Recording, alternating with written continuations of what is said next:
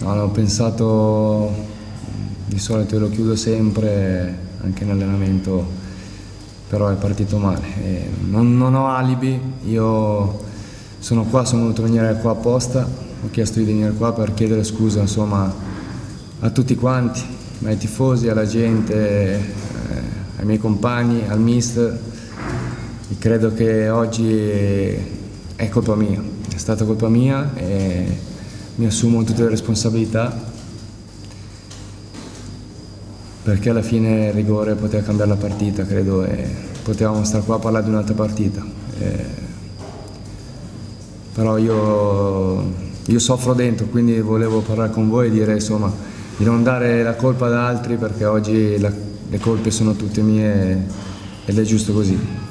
Ci, sarà, ci saranno questi tre giorni per smaltire e pensare pensare subito al Vicenza e insomma, ripartire.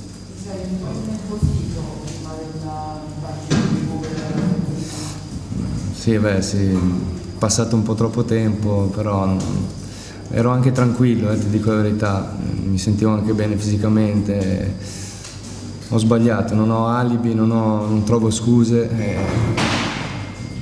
So che magari perderò la fiducia di tanti di voi, tanti tifosi, ma questo è il calcio e l'episodio ci può stare anche se io non volevo, anzi non ci doveva proprio stare, però ho sbagliato.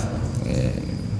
al di là del calcio di rigore, hanno sbagliato tutti. Sì, no, eh, que questo mi confonde. Insomma, hanno sbagliato tutti, non è questo il problema, siccome la sconfitta non può essere colpa del singolo.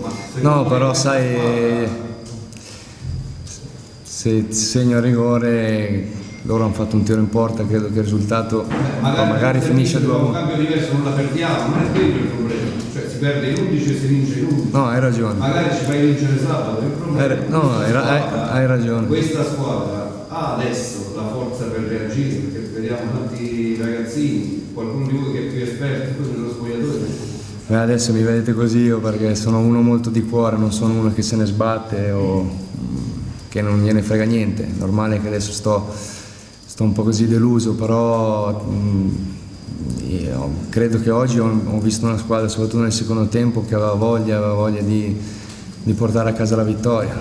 Poi sbaglio il rigore l'episodio e, e, loro in ripartenza hanno fatto un tiro in porta e, e vincono loro, però questo è il calcio.